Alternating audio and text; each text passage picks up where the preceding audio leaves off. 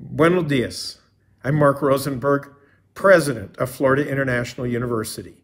And on behalf of our students, our alumni, and all your Panther friends in the 305, I salute you for crossing that virtual graduation stage to earn your degree. Te felicitamos a ustedes y a todas nuestras familias. We know that success in education and in our larger society is a family effort, and for that, we salute you and your families. But you're just getting started. You see, with this degree, you're going to begin your careers or continue on to a graduate program or meet the need for solutions that our society needs now more than ever.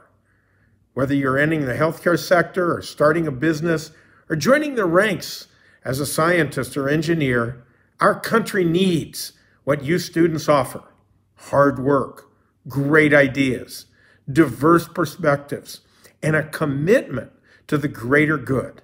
So, congratulations, class of 2020. And remember, no pares, sigue, don't stop, keep going. Congratulations.